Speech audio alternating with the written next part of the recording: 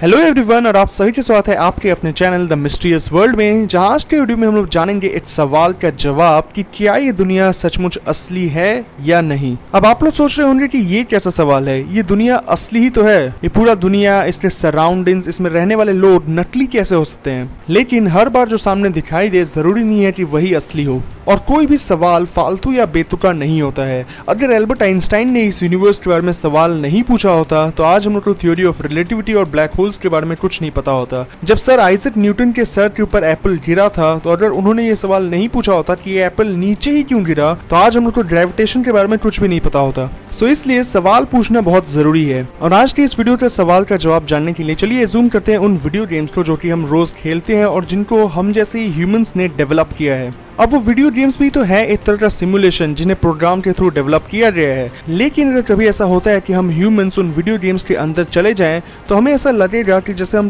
बिल्कुल किसी अलग दुनिया में आ गए हैं। लेकिन कहीं ना कहीं हम ह्यूमंस को पता है कि उन गेम्स को हमने ही डेवलप किया है तो वो दुनिया असली नहीं है, बल्कि वर्चुअल है। सो क्या ऐसा हो सकता है कि ये पूरा का पूरा अर्थ हम लोग का ह्यूमन लाइफ ये गेम हो, जिसे डेवलप किया है बहुत ही एडवांस्ड एलियन प्रजाति ने। सो so, ये जो पूरा कंसेप्ट है कि अर्थ एक वीडियो गेम है जिसे सिमुलेट किया है एलियन स्पीशीज ने, इसी कंसेप्ट को कहते हैं मैट्रिक्स सिमुलेशन कंसेप्ट और बहुत सारे ऐसे लोग हैं जो इस कंसेप्ट पे विश्वास भी करते हैं और इस कंसेप्ट के ऊपर रिसर्च भी कर रहे हैं। और अगर ध्यान से देखा जाए तो कहीं ना कहीं इस कंसेप्ट में सच्चाई भी है। अगर आप देखिए, हम ह्यूमंस अर्थ के तो सबसे एडवांस सबसे इंटेलिजेंट स्पीसीज है, लेकिन अर्थ से बाहर किया। ऑब्वियसली अर्थ जो है, वो पूरा एक यूनिवर्स का बहुत ही छोटा सा पार्ट है। तो अर्थ से बाहर जो इतना बड़ा यूनिवर्स है, क्यों हम लोग उसको एक्सप्लोर नहीं कर पा रहे हैं? हम लोग यूनिवर्स के बारे में बहुत कम जानते हैं। सो so, जो भी एलियन स्पीसीज है जिसने हमें स्टिमुलेट किया है वो शायद नहीं चाहता कि हम यूनिवर्स के बारे में ज़्यादा जाने और उनके बारे में ज़्यादा जाने। शायद इसीलिए हम ह्यूमंस के लिए उन्होंने कुछ बाउंड्रीज सेट किया है और हम उन बाउंड्रीज के बाहर जाके एक्सप्लोर नहीं कर सकते।